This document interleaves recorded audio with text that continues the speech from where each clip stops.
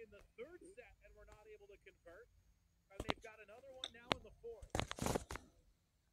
Boy, these sets have been so tight. Extra points in the first, the third, and now the fourth. EKU was able to pull out the third, and of course they would have to pull out this fourth if we're going to see a fifth. Yeah, I think EKU needs to prepare for Ignite, who's front row right now to get the ball. They've only set her the last five or six balls, so she's probably going to be their go-to to put the ball away.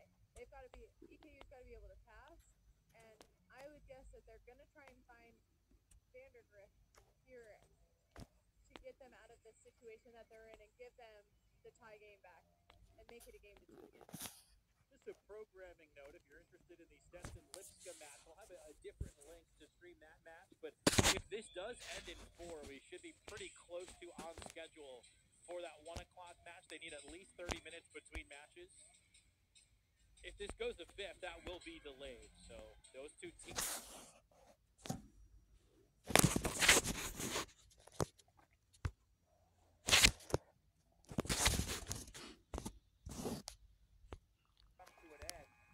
uh, which could be on this very next point. I mean, you talk about pressure. Coach Bazzani wanted to get her team organized, but it also gives her players a chance to think about the fact that this is the final point of the season. We'll see just how organized they are. Chloe Mason, the senior setter, will set this one up. Antar serves. Mitchell to pass. Mason gets to it. Tough angle. Lucas blocked. And they couldn't handle it. North Florida is moving on. A four set thriller to start the Sun Championship. Three of the four sets go extra points.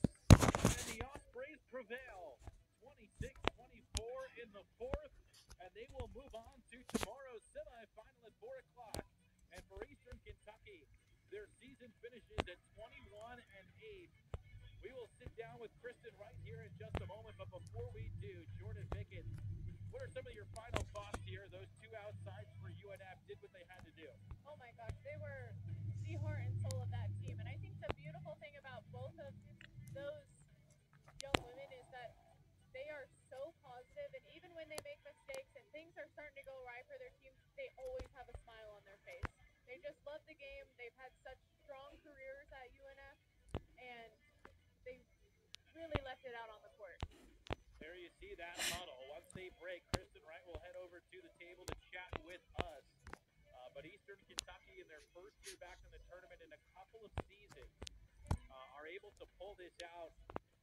Are able to, or they, they drop it in four to North Florida, who's able to pull it out. And the Ospreys are going back to the semifinals where they've been under Kristen Wright. They went to the championship game back in 2012 and they went to the semifinals in 2020 and 2021. Did not get there last year, but they are back into the semifinals as Kristen Wright joins us here at courtside on the ESPN Plus. Three out of four years now in the semifinals. Uh, you guys were sharp early on. EKU responded by winning the third. How are you guys able to